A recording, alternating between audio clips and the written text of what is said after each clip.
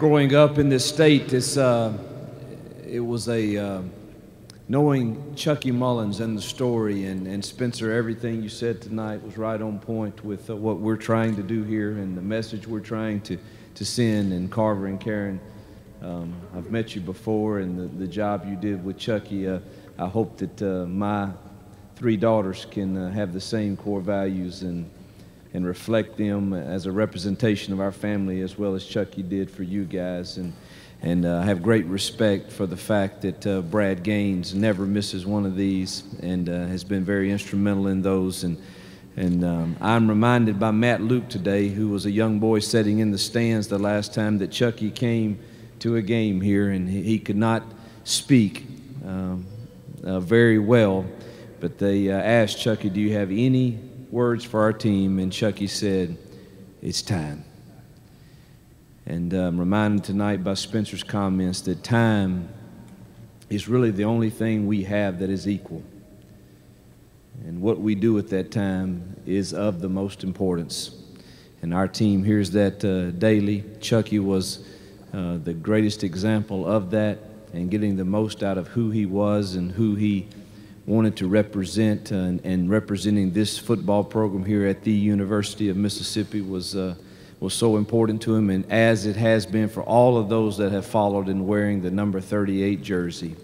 And I, when I first got here and we started dealing with our kids, there were several that stood out, and we went back and forth on who would be this uh, year's Chucky Mullins Award winner and represent the same values that he does and, and go forth in our and, and representing that on our football team and, and what we're going to try to accomplish.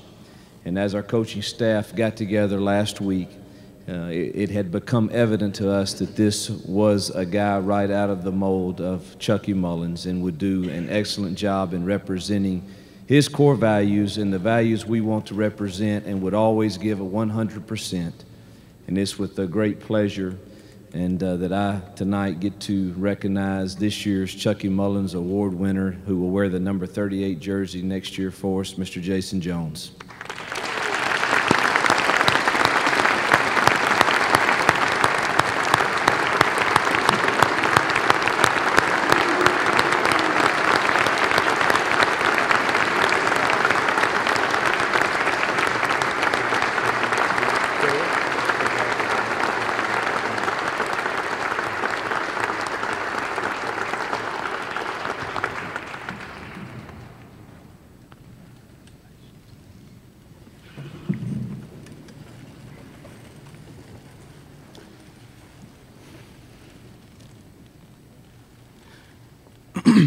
First off, I just want to say, um, give glory and honor to my Lord and Savior, Jesus Christ, and uh, for giving me just the opportunity to to represent Chucky Mullins as this is a very prestigious award, and I um, I just thank the guys who who have went before me and paved the way for me to have this opportunity on tonight.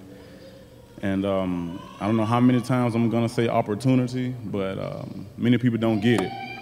So it's uh, something that's very important to me.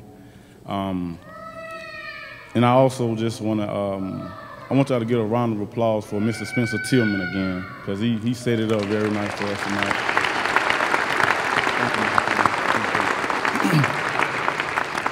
Um, next, I want to thank my family sitting over here to my right. They um, changed schedules many times to try and just, just make it just because I, just because I was a nominee. And um, I just want to thank you, mom, my uncle, my aunt, my sister, and my niece over there. She's giving y'all a hard time. So. But um, Mr. Tillman talked about courage, right? Courage. And um, this is the Chucky Mullins Courage Award. It takes a lot of courage. Um, and for none of you who don't know my history, I've been, uh, I've been named someone who's been injury prone, I guess. And um, my years in high school, I, I had two ACL surgeries on my left knee and still ended up with a scholarship. So I was just like, you know, well, I know that God has a purpose and a plan for my life somewhere. And for it to be here, to come here to redshirt and to, um, to be injured when, when I'm healthy is, is, is mind blowing. The first game of the season, my redshirt uh, freshman year. And um, instead of being encouraged, I had more discouragement than anything. Um, just like the, the cup deal right here, it took him 11 seconds to build it, but it didn't take long to destroy it. And that's just like an injury. Um, when you're injured, it takes less than a second for an injury to occur, but months to, to rehab and get it back, maybe even years sometimes.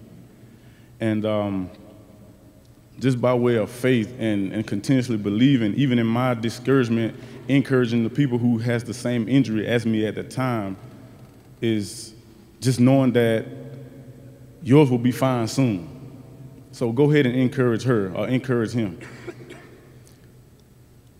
Last spring, um, took on the idea of I had to walk through through the field almost every day, and I would touch the never quit sign three times and point to the sky. And DT noticed it after months of me doing it. I never noticed that he paid attention to it, but he uh, he said, "Man, I see that you, you know, you you tapped the thing three times, man. You know." And I was just like, "Well, that's that's just a, something that I do to show that." you're really supposed to never, ever, ever quit. As a little boy growing up, that's what one of my uh, coaches taught me, not to ever quit. Never quit. No matter if you're being blown out or, or what. To have three knee surgeries, major knee surgeries on both knees, and, and to just continue your career is unheard of some through I mean by some ears maybe. Um, I always think about the people who stop after one.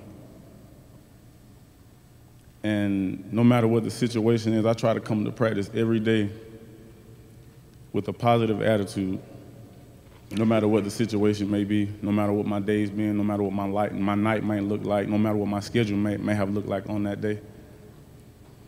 And to represent Chucky on next, um, next season with the number 38, I think is um, a privilege and an honor. I'd like to give also a thanks to my, my former coaching staff as well as my present. And last but not least, I'd like to thank the guys that I spend most of my time with, my family, my teammates. I love you all, and I'm going to do the best I can to represent Chucky Mullins each and every day, whether it's at practice, in the weight room, on the field, in the film room, whatever it may be. Thank you. God bless.